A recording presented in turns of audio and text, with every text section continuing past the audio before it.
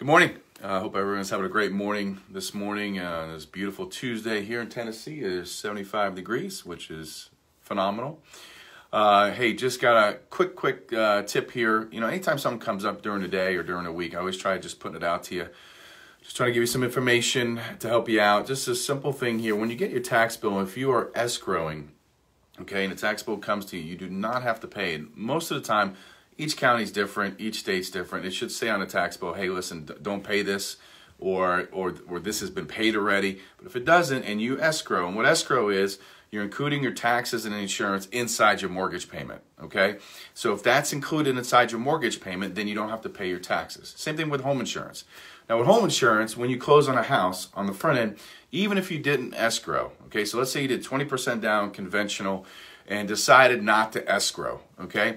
In that case, you know, your insurance comes up once a year, okay, just like your taxes, and, and then your taxes and insurance have to be paid separately by you by two separate checks. One goes to taxes, one goes to, to you know towards insurance.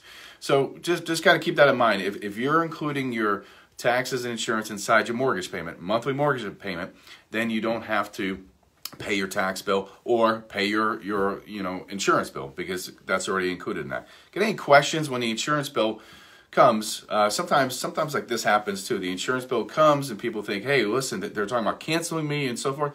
Call your insurance company ASAP, okay? Because a lot of times it's crisscrossing in the mail and so forth, okay?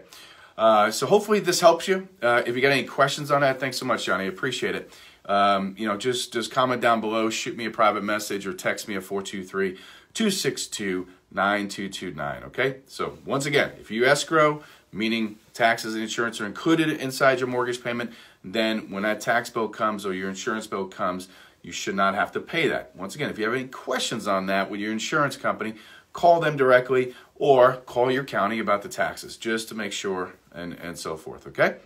Any questions, like I said, just comment down below, shoot me a private message. Text me at 423 262 9229.